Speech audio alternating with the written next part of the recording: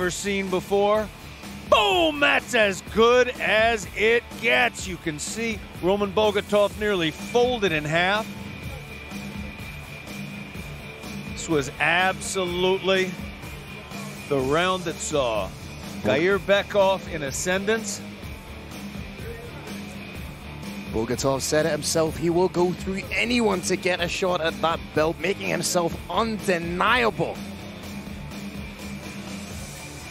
Dropped to the first time, dropped a second time, came back and was victorious. So far from me, that is fight of the night.